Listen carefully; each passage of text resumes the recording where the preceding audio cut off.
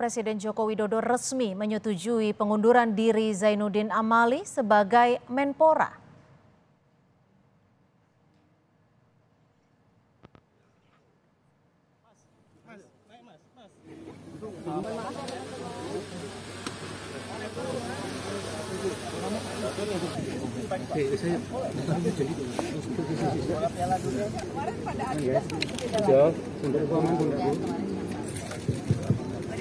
Menpora di lapangan bola setelah resmi diizinkan Presiden, Amali mengaku akan fokus pada PSSI.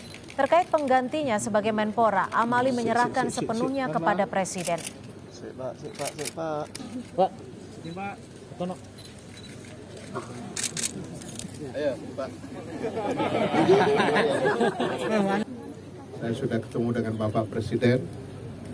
Saya menyampaikan Pak Presiden, saya sudah menyampaikan surat secara tertulis dan kemudian eh, beliau sampaikan sudah sudah menerima itu dan saya diizinkan untuk mundur dari Menteri Pemuda dan Olahraga per hari ini.